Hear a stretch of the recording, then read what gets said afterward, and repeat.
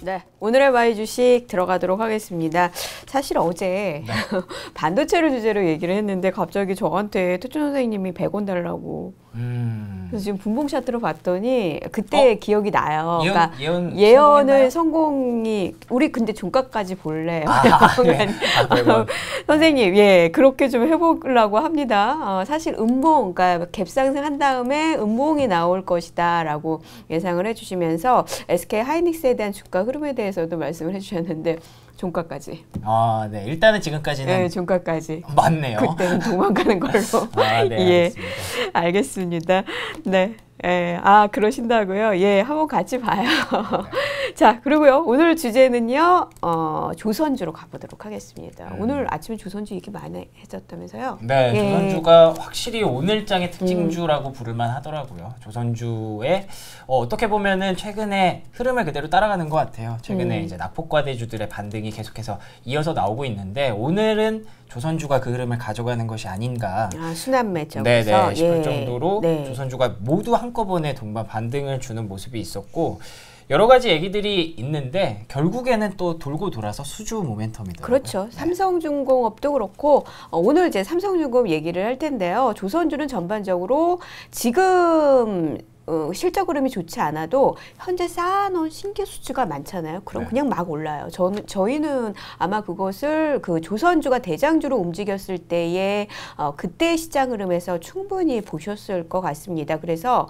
계속 수주 모멘텀이 나와주기를 바라는 것이 바로 지금 현재의 상황이라고 볼 수가 있고요. 그 가능성도 상당히 크게 보고 있습니다. 다만 앞서서도 계속 얘기가 됐지만 삼성중공업의 경우에는 계속 어, 수, 수주에 대한 대한 그 얘기가 있었거든요. 음. 근데 그때만 잠깐 살짝 떴다가 움직이지를 않아요. 음. 그렇게 보면 이제 시장의 움직임에도 상당히 많이 눌려 있었던 부분이 있다라는 점 있기 때문에 이런 순환매에 이어서 좀 더 탄력을 받을 수 있을지를 좀 확인해 보도록 하겠습니다.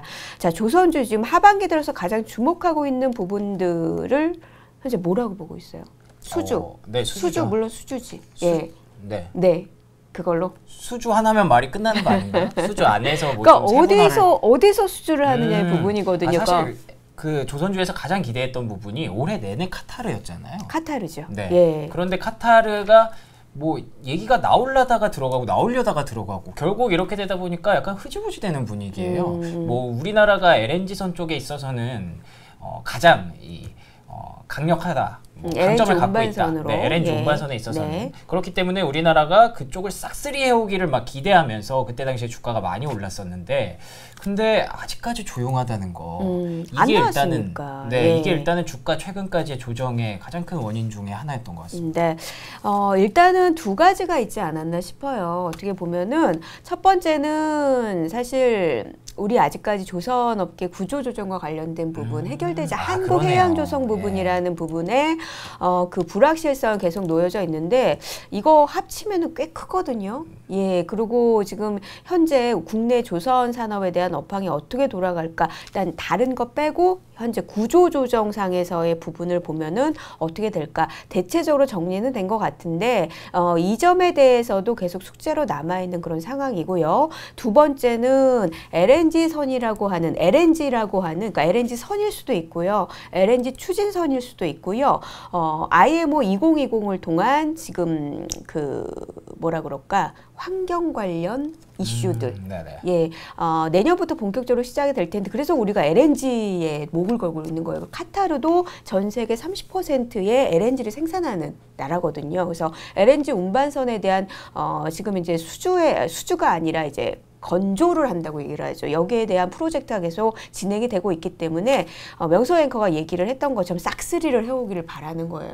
몇 조 단인지를 몰라요. 그래서 네. 그 부분에서 어, 우리가 일정 부분 가져오게 된다면 다시 한번 여기에 대한 탄력적인 흐름이 나올 것이다 라고 얘기를 했는데 사실 어, 운송이라는 부분은 있잖아요. 네. 세계 교역이 잘 돼야 된단 말이에요. 그래야지 아, 신조선도 그러네요. 만들고 운반도 되고 이러는 점인데 그래 그 중에서도 조금 센 모멘텀을 가지고 있었던 게 LNG 쪽이란 말이에요. 네. 환경과 연결이 돼서 어, 일단 환경 좀 좋게 좋게 만들자 벙커쇼 만들면서 환경 오염 일으키지 말고 좀 이런 점에서 좀 말 잘 해보자라고 하고 석유 많이 석탄 쓰지 말고 다, 어, 중국 쪽으로 좀 옮겨가는 거 LNG로 좀 바꾸자 천연가스로 바꾸자 이러면서 LNG 가스에 대한 운반 그리고 LNG 추진선으로 만들기 위한 그러니까 보다 환경에 적합한 환경 어, 친환경적인 그런 어, 조선을 만들기 위한 그런 기대감이 상당히 강해지면서 신조선에 대한 기대감이 많았거든요. 음. 또 워낙 우리는 불확실성에 살았잖아요. 아, 예, 예. 그렇죠. 예, 미중 무역 분쟁과 관련된 부분에서 지금도 살고 있잖아요, 불확실성. 살고 속에. 있죠. 예. 근데 이제 선주들이 이제는 안 되겠다 싶은가 봐요. 음. IMO 2020이 내년부터 시작이 되고 상당히 친환경과 관련된 부분, 환경 규제와 관련된 부분이 강하게 진행이 될 것으로 보기 때문에 그래서 사실 음, 싹 다 바꾸는 거 말고 엔진만 갈아 끼는 게 있어요. 어, 그래요. LNG 추진선이 바로 그거예요. 아. 그러니까 듀얼로 해서 어, 지금 어, LNG 추진선의 수주가 삼성중공업 최근에 열 척이 나왔단 말이에요. 맞습니다. 예, 그런 점에서 이제 아 드디어 움직이기 시작했구나. 지금 친환경과 관련된 부분은 추진선 달아가면서 할 것 같구나. 이러면서 근데 그게 그냥 이제 PC선보다는 좀 단가가 높아요. 음. 이걸 삼성중공업이 내리 뽑고 있단 말이에요. 네. 갈수록 이런 수주의 가능성, 이제 선주들이 움직이기 시작했다. 카타르도 있다. 카타르 프로젝트도 있다. 그런 점에 대한 이야기가 나오고 있는 것으로 보입니다. 실제로 삼성중공업 그리고 뭐 대우조선해양, 한국조선해 한국조선해양 음, 맞죠? 음, 음. 예, 이렇게 세 개 기업의 최근의 실적 목표치랑 달성을 얼마나 했는지를 비교를 했더니 삼성중공업이 그나마 이제 50%를 넘겼더라고요. 그렇죠. 예. 네. 그런데 좀 더 넘길 것 같다는 생각을 하는데 그 지금 말씀드린 부분 때문에 그래서 시장에서 삼성중공업에 거는 기가 굉장히 커요. 네. 어, 어떻게 보면은 좀 시추선이라고 얘기를 하죠.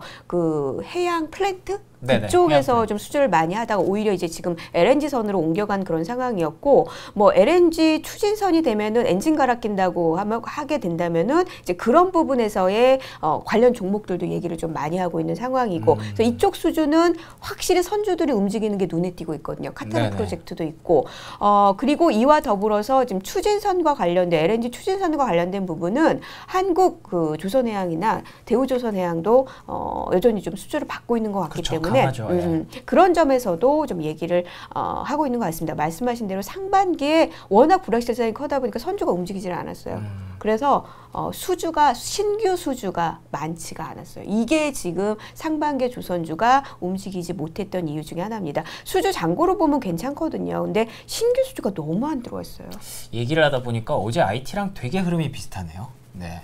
상반기까지는 계속 이제 뭐 서버 디램이 얼마나 남았다 뭐 이런 얘기가 전혀 없었고 수요 자체가 일단 움직임이 거의 없었다고 봤었는데 이제 조금씩 그 움직임이 나오고 있다. 음, 지금 네. 조선도 이제 선주들이 안 되겠다 싶어서 네, 그러니까 이제 방법을 찾아가지고 예. 이제 붙여가지고 뭐 좀 더 싸 싸면서도 효과적으로 음. 대응할 수 있는 방법을 계속 어, 고안을 했고 이제 거기에 대한 방법이 아 이거 LNG 추진선이구나 오늘 그래서 보면요 LNG 관련주로 봤었던 어, 그 뭐라 그럴까요 어, 종목들이 지금 또 다 한국카본이라던가 음, 보게 네. 되면은 그쪽에서 좀 움직이는 게 좀 눈에 띄고 있거든요. 동성화인텍도 지금 현재 상당히 강한 모습을 보여주고 있고 그래서 아마 이런 적에 대한 기대감이 나오고 있는 것 같습니다. 그렇기 때문에 조선주든 어, IT든 경기 민감주라고 얘기를 하는 것 같아요. 음, 그러니까 경기가 좀 어느 정도 흐름이 나와야지 좀 네. 움직여서. 음. 진짜 최근에 일단 흐름과 되게 비슷하게 가는 것 같아요. IT와 조선주 뭐 이제 경기 민감주들을 앞서 전문가님께서도 강조를 해주셨는데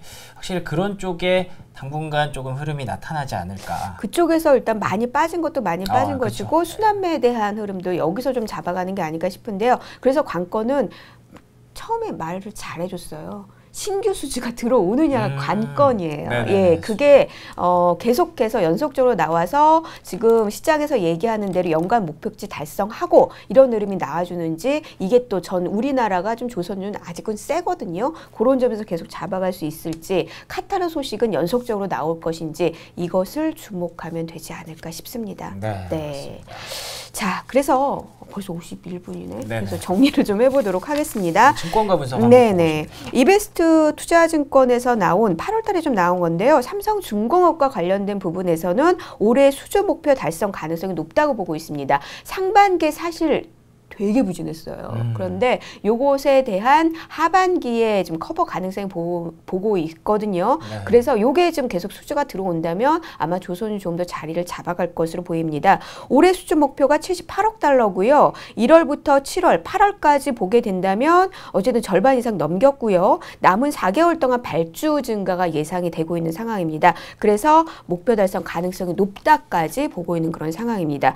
그리고 조선 업황에 대한 전반 적인 부분은 오늘 나온 걸 봤는데요. 신한금융투자에서는요. 일단 투자 의견은 비중 확대를 이건 가격적으로 보고 있습니다. 밸류적인 측면에서 사실 조선 업황이 정말 호황이다라고 보면 PER 보면 되는데 아니거든요. 그래서 PBR로 보게 됐더니 항상 그러했듯이 0.62배에선 올라오는 거 이번에도 확인했다고 보고 있고요. 어, PBR 1까지는 못 갈 것 같고 한 0.94배까지는 상단으로 보고 있는 상황입니다. 네. 이제 업황이나 이런 걸 보지 말고 밸류를 측면에서 봤을 때는 지금도 매력적인 구간으로 얘기를 하고 있는 그런 상황입니다. 어찌됐든 두 증권사 다 이제 이제 오를 때가 됐다라는 그렇죠. 네, 의견 쪽으로 네. 가져가고 있네요.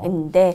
자, 그래서 지금 조선주에 대해서는 일단 증권가에서는 여전히 좋은 얘기가 나오고 하반기로 갈수록 기대감은 좀 더 커지고 있는 상황이고요. 여기에 기대를 이제 조선 업체들은 현실로 얘기를 해줘야 돼요. 네. 수주가 들어와야 됩니다. 그러면은 좀더 어, 하반기에 어, 중심주로서 얘기가 좀 더 되지 않을까 싶나요? 네. 알겠습니다. 여기까지 하겠습니다. 네.